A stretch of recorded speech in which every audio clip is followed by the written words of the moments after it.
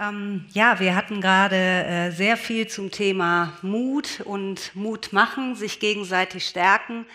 Ähm, und ich will eigentlich jetzt mal diesen Best Practice Ansatz äh, euch näher bringen mit einem ja, eigentlich Praxisbeispiel aus meiner Laufbahn, ähm, wie ich das alles äh, stemme, wuppe, auch versuche durch meine Funktion bei Emma Hartrova als Beirätin in unserem Frauennetzwerk anderen Frauen den Mut zu machen, ähm, ja, die Schritte zu gehen, sich nicht hinterzufragen und einfach ihr Ding durchzuziehen in dem Sinne.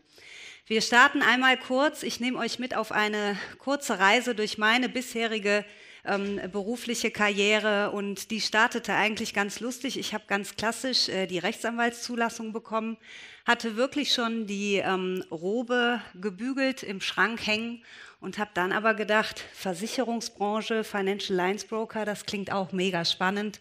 Hatte Berührungspunkte mit Manager und Wirtschaftsrecht überall schon und dachte, das schaust du dir mal an. So landete ich dann bei einem äh, namhaften Financial Lines Broker in Köln und arbeitete zunächst wissenschaftlich an einem Buch mit und machte dann, was eigentlich in dem Wege mein erster Mutmeilenstein war, äh, den Schritt in den Consultant-Bereich in den damals noch DAX 30-Konzernen. Das war also wirklich der Sprung ins kalte Wasser, aber ich war mutig und habe einfach gedacht, das schaffst du, du wagst das.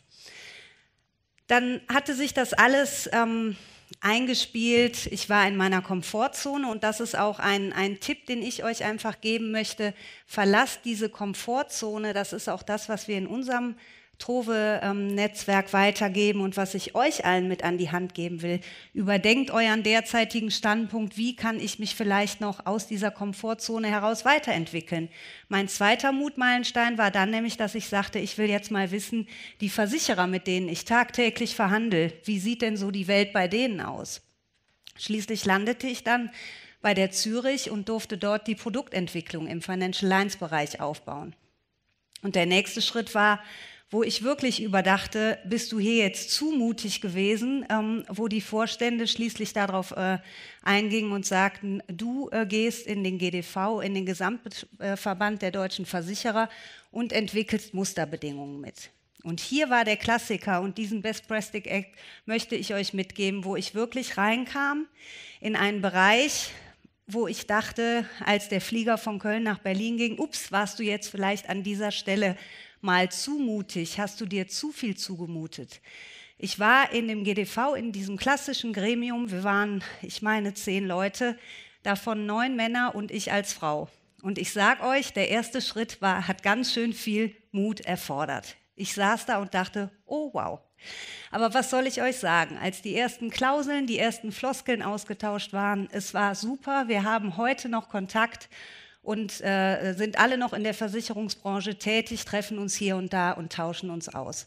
Es war aber ein ganz schöner Schritt, äh, äh dies äh, damals zu bestehen und sich einzugestehen, oh, schaffe ich das jetzt oder war ich an dieser Stelle zu mutig?